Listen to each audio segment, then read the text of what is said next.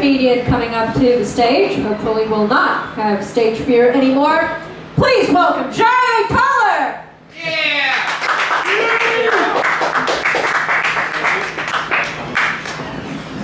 All right, folks. Listen, I live in Southside Richmond, Virginia. I love living in Southside. There's just some businesses in Southside that I don't particularly care for. Like there's this bowling alley on Midlothian that I went to the other day. It's the most hood piece of shit that you can never go. I'll never go back to this bowling alley. Like I go in there, they got 30 lanes. Now out of the 30 lanes, only 10 of them worked. And I'm like, okay. But they only had like 20 bowling balls. We had to share bowling balls between families. I'm like, what the fuck is this? One bowling ball had four holes in it. I'm like, how the hell do I bowl with these four holes? in But the guy that worked there, he told me the last dude that was there got mad and he shot it. then they didn't even have the machine to return the ball to you. It's just a dude at the back of the lane that bowls it back up. Like, what the fuck? And then, like, next to it is a putt-putt golfing games. I'm not making this up. Go to Midlothian. I go to this putt-putt thinking, all right, this might be better. Nope. Same old hood shit. I put like two quarters in one arcade, and the arcade next to it came on. How the fuck did this shit happen? Like, and then I went to go play putt-putt golf. They didn't even have any more golf balls. They were using pool balls to play golf with. It was niggas out there hustling. Eight ball, corner hole, double bogey. I was like, now I refer to myself, well, I apologize. Whatever. Um, oh, fuck all y'all white people. Now, now before y'all jump, wait a minute. Wait, so wait, before you get mad at me for saying that, Write that down? yes, I have to remind myself of my hatred towards you and your kind. No, something happened to me uh, recently that made me hate all white people for just that day. I don't hate you now, but you know, fuck all y'all just like emphasize the joke. But, but I come outside and I trip up over my porch, and there's like a three-year-old white girl on the sidewalk on her big wheel, and she laughs. Ha ha ha, you fell. I'm thinking I'm playing with her. Ha ha, I see you fall off your stupid little big wheel all the time. Ha ha ha. And then she responds, ha ha ha, you're black. Like, and then, like, what the fuck? Like, I would have rather her called me the N-word. I prefer her call me the N-word. She just announced my natural race. Like, that was the insult. so now I'm like, what the fuck are your parents teaching her? So I'm looking at her dad on his porch, not paying no attention. So I walk up and I kick that bitch off her big wheel. And now she's crying and shit. Now her, now her dad gets involved. He didn't know I kicked her. He walks over and I'm like, oh, the baby girl fell down there. And her like, if you tell, I'll kill you and your mom. They moved two weeks later. I want to say it's because of me. I don't know why, but fuck that little bitch. big will. you right. I should have taken that fucking. I should have broke it. You're absolutely right. Or burned it or something. Fuck white people. All right. So I don't like uh, I don't like telemarketers. I get uh, I get this call from the telemarketer trying to sell me a timeshare to Disneyland, and it wasn't even like super sweet. It was like twenty thousand dollars, right? Every year I can visit Disneyland for four days. I can stay in one of their hotels. That's it. And I'm like, for twenty fucking thousand dollars, that's that's all I get. For twenty thousand, I better be able to visit more than Disneyland. I better I better be able to visit Walt Disney's grave. Like for twenty thousand dollars in my hotel, Mickey Mouse better make me breakfast. For twenty thousand dollars, I better have a threesome with Minnie Mouse and Daisy Duck. like for real, like could, could you just imagine this shit? Could you just, just like picture me and Daisy Duck on the bed, trying to kiss, having trouble because her beak keeps biting me. Minnie Mouse comes out of the shower, nothing but that red polka dot hair bow on. She climbs on the bed, she tries to bite Daisy Duck's panties off. She gets mad because Daisy forgot to shave. She got feathers all over her lips. Goofy's in the treehouse, recording it. He forgot to press record though. Well, I'm, I'm gonna stop right there with that with that joke. I don't know where I was going. Um, whatever, sorry. I got uh, there's one last joke I wanted to tell. I think as soon as I can uh, start my phone back up, I see the light, and this joke is like 45 seconds. As soon as I can get to it, boom, Paul Bass is texting me. he just texted me. I swear to God. Like, Yeah, he's a white motherfucker too. He is a white mother. That's why I'm not responding. I'm just continuing my joke. Oh. Oh yeah, see, I should have known that this joke was next because it was a segue. I was talking about fucking Minnie Mouse and Daisy Duck. Like, so the segue is, I really, I really don't care about like stuffed animals. I can never really fuck them, but I honestly used to masturbate to Betty Boop. Like, that's that's where the segue came in because she's like a cartoon character, but if she was real, like I would like love to get some some some head from her. But then I thought like, damn, her head is kind of big. Like, what would it be like if she sucked my dick? Like. Every time she'd go up and down, like she'd headbutt me in the chin. Like, that's just like not sexy. I'm, I'm just in it like that. Y'all have a good night. Jaye Toler. Enjoy the rest of the comedians.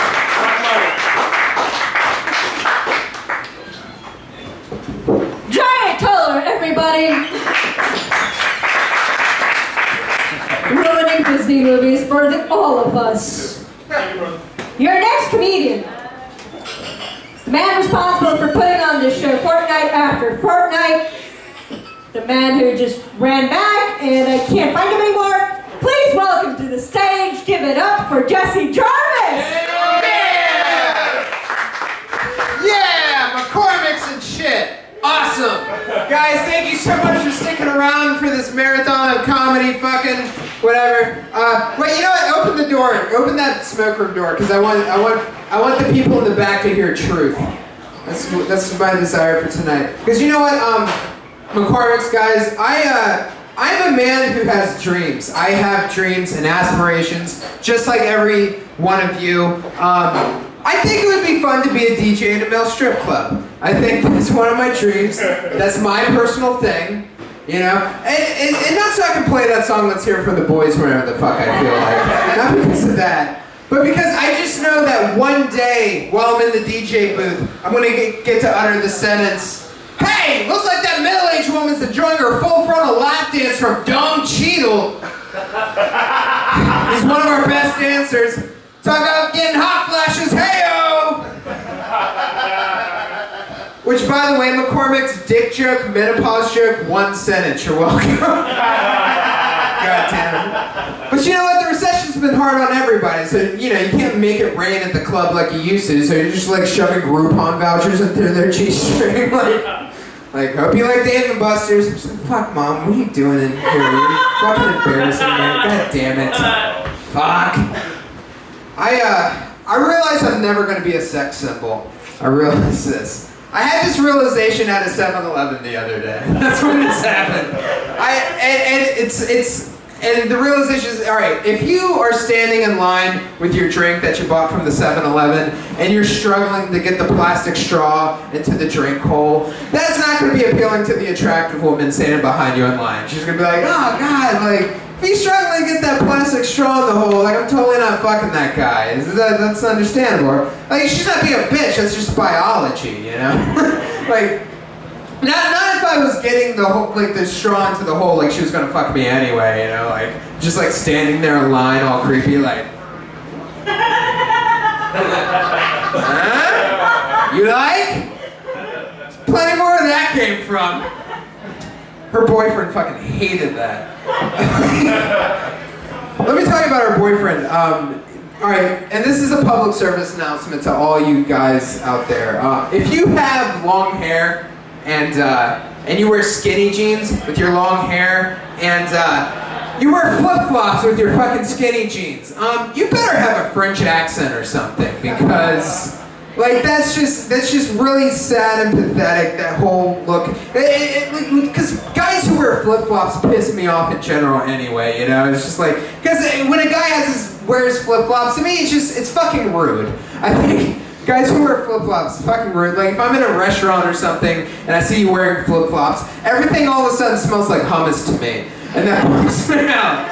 It was like, uh, God, this, it, it, and like you could be some really nice guy. You do work for the Peace Corps, or you help like starving children in Africa or, or something. Like it doesn't matter. You're gonna look like a fucking asshole. And, but then like you know, then the guy opens his mouth. He's like, well, in France, you don't have to pay for health care, and blowjobs are publicly funded by fucking teachers unions. I'm like, okay, well, he's got a French accent. This makes sense. It's not me being pissy. It's just it's cultural difference. Whatever, bullshit. I'm done telling that joke. That didn't fucking work. All right, let's talk about fast food. Why not?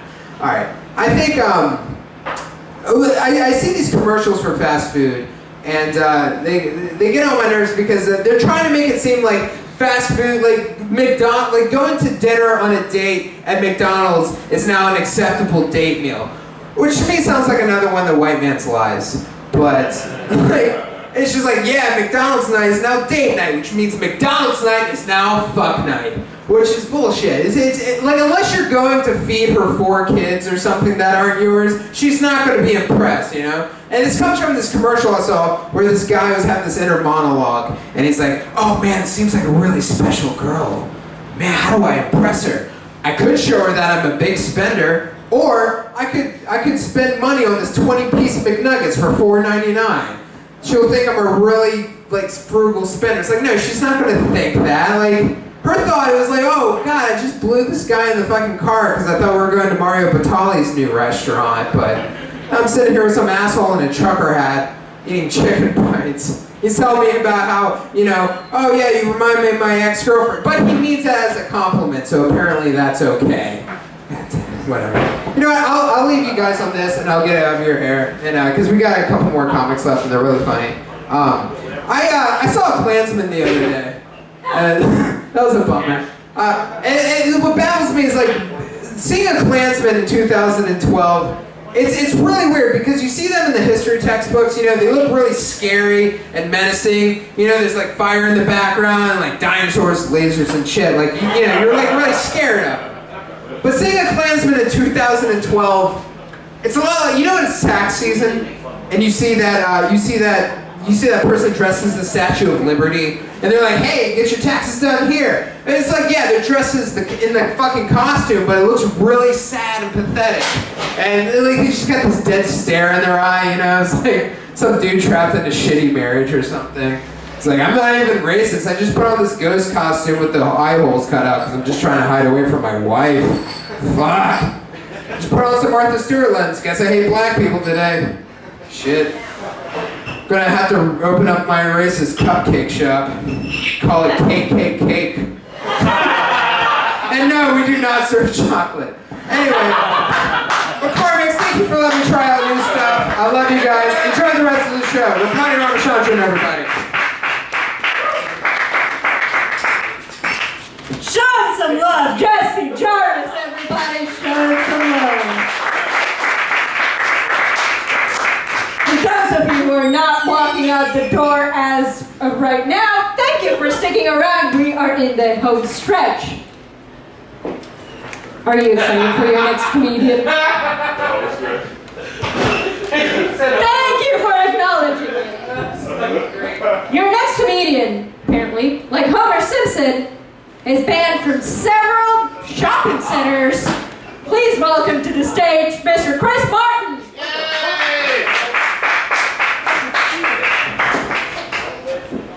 Always nervous when I do stand-up comedy. I'm nervous, more nervous than Mitt Romney's family dog when he realizes they're going on another Canadian vacation. Mitt's not worried if the dog falls off the family car roof because he figures he can always use the hide for sacred underwear. I don't know about you, but I wear Victoria's Secret sacred underwear, or I wear no sacred underwear at all. Problem with underwear bombs, the skid marks. Barack Obama has promised to be even harder on terrorists in his second term than in his first. His new campaign slogan, the chicken in every pot and a drone strike on every village. He's going to fire Bo, the Portuguese water dog, and hire Mo, the CIA waterboarding dog. He's even promised to hunt down and kill hope and change. Barack Obama campaign is selling Barack Obama dildos to raise money. They're long on promises and short on delivery. Hillary Clinton wrote a book called It Takes a Village to Raise a Child. She has a new village, a new book out called It Takes a Drone Strike to Wipe Out a Village. She went to India and wore a bracelet promoting the war against sex trafficking, said real men don't pay for sex. Bill Clinton wore a bracelet that said real men don't pay for cigars. A lot of you may not know this, but the founder of, Mus- of the Muslim religion, Muhammad, had a nine-year-old wife, which means while she was chowing down on Happy Meals, he was chowing down on her vagina. While she was getting into My Little Pony, he was getting into her little vagina. knock knock. Who's there? Muhammad. Muhammad who? Muhammad, Chris Hansen wants to talk to you. knock knock. Who's there? Miley Cyrus. Miley Cyrus who? Miley Cyrus, who's too old for a Muhammad. Knock knock. Who's there? The Olsen twins. Olsen twins who? The Olsen twins are too old for a Muhammad sandwich. Someone found a finger in an Arby's sandwich. In other news, someone found two penises in a Kim Kardashian sandwich. You can now buy a Justin Bieber singing toothbrush for $9.95 from Walgreens. This means you and Selena Gomez can have Justin Bieber in your mouth. I want to be the first man to put his penis in a VCU football cheerleader's vagina. Because that would be the Richmond equivalent of being the first man on the moon. I get my, when am I going to get my freaking light here? It just goes on. Thank you, thank you. My minister keeps telling me to be more like Jesus. So next week I'm going to go down to Jeff Davis Highway and hang out with the prostitutes. Thank you very much. My name's Chris Martin. Welcome back to the stage. Your host, your MC, Rakmani Rak- Ramachandran. Thank you. Chris Martin, everybody. Put your hands together for Chris Martin. Your next comedian coming to the stage recently won crowd favorite at the Richmond Funny For Clay Shaw.